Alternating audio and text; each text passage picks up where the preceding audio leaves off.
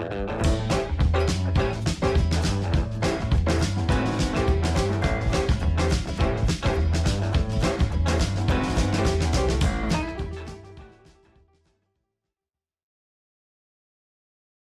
してもう一つはい。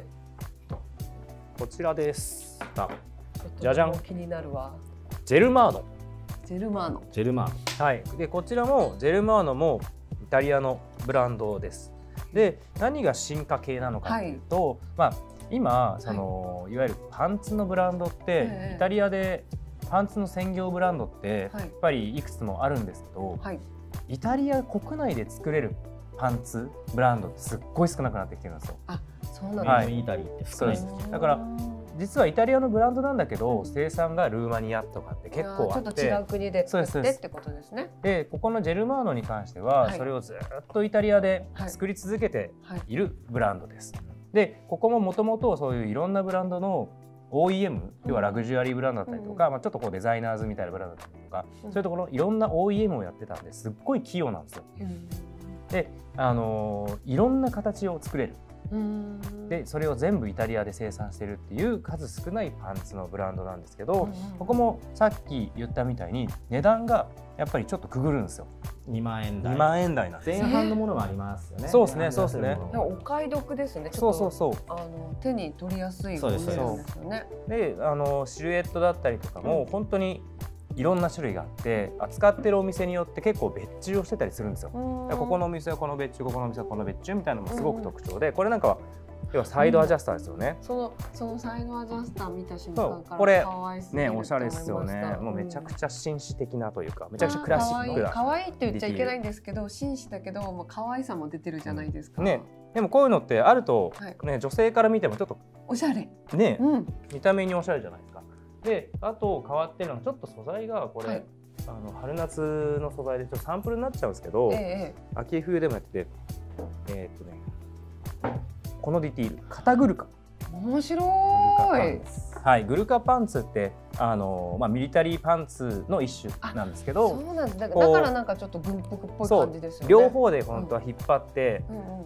こう合わせてうん。履くパンツなんですけどこれはそれをオマージュというかねちょっとこう改良して片方にだけこの持ち出しをつけてでここでウエストを調整して引っ張ると。ベルトはいらないってことですか？ベルトベルトなしです。さっきのもベルトです。はい、はいねっていうようなパンツなんですけど、はい。ああのこのウエスト周りにええ。ちょっとしたこうディティールを加えていくっていうのも、うん。まあ、この最近すごくパンツブランドではねね多いですよねねさっきのジャブスだったらここに紐を垂らしてすごくリラックスな感じを出すとか、はい。この肩グルカだったらこのディティールがあることで、はいそのベルトレスって要は仕立てたパンツみたいに見えるんですよ。なるほど。その人のために作ってるパンツ。ダーのパンツみたいなそうそういうものをそう見せる知らなかった。あえて見せるようなディティールのものもすごく増えているっていうような感じですよえね。あのちょっとふとした瞬間思ってしまったことがあるんですけど、はいはいあの怒らないでくださいよ。怒んないはいですそこのボタンのところってポッケですか？あ、そうですそうです。ここは何入れるんですか？切符？まあチケットだったりも入れられますけど、コインポケットっていうんですか？は言われててそれこそコインを入れるちょこっとものだったりあちょっとちっちゃいちっちゃいポケットなんですよ、ここに本当になんか入れるんですか？入れられるんですか？まあ、入れられ今はあんまり入れないとは思うんですけど、ディティールですね。だから今はもうデザインですね。あデザインなんですね。うん。ここをなんかフル活用してる人は。これも実は入ってはい入ってるの？あのちょっと。その中にやっぱり JR の切符は入ってるんですか？まあそうですね。切符使う人が少ない。切符しかまあ今いらないかな 切符しか買わないん僕もほら入って切符は切符は入ってないですね。僕は多分ここからフリスクあおしゃれな方向に選んそだっ。からなんかやだ温まってきたら嫌なんですけどそれは ちょっと。すみません。ちょっとまた脱線してしまいましたけど。スルーカええパンツもそのさっき高田さんおっしゃったように仕立てたみたいな仕様なんですけどうんあのやっぱり数年前からあのオーダースーツとかうんあのパンツをオーダーする人とか増えてきて本当に結構本物のあの仕立てパンツスーツっていうのがもう一回注目を浴びてきてて結構そのフィッティングもそうですけど腰回りのこういうディテールをあの盛り込んだ制かっこいい服っていうのもすごく増えてきたんですけど、うん。まあ、やっぱり難しさもね。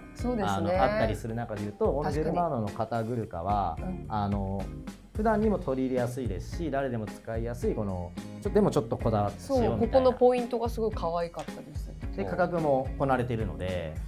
あのちょっと冒険をね。そうですそうです。そうまさに。だからなんかちょっとこういう変わったディテールみたいなのに試したい時は、うんうん。本当にこのジェルマーノとかはうん。プライスも良心的だし、はいまあ、イタリア製でちゃんとクオリティもしっかりしてるんで、うんうん。なんか新しい形ちょっと試してみようかなみたいな時はすごいいいんじゃないかな、えじゃあ二人だったらどういうふうにあのコーディネートします？そうですね。僕だからあと本当にうん。高田さんの着こなしでき気になったのがそのさっきのジャブスのちょっと河川のパンツがあるんですよ、ね。はいはい。ナイロンと、はい。河川のパンツを僕結構好きで履いてるんですけど、はい。高田さんだったらどう着こなすのかなっていうのは結構気になってあ私も気になる。なるほど、えじゃあ、はい。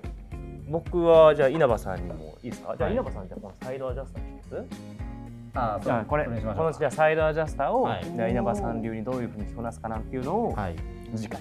着こなし対決。楽しみはい。です。着こなし対決？はい。ではないんですけど、はい。まあご紹介していただけるということですね。ありがとうございます。本当に今回も本当にお勉強になりました。お二人どうもありがとうご。ざいます。はい、では皆さん、まああの次回も続けてあのこのまちょまっとずつ伸びてきてるみたいですねそうですね。登録者数あもありがたいことにあり嬉しい嬉しいがたいです。本当にありがとうございありがとうます。ございますこのまま引き続きよろしくお願いします。お願いします、はい、ますまだいいねをあのつけてらっしゃらない方や登録されてない方はこちらからよろしくお願いします。お願いしお願いしますまた次回お会いしましょう。ありがとうございましたありがとうございました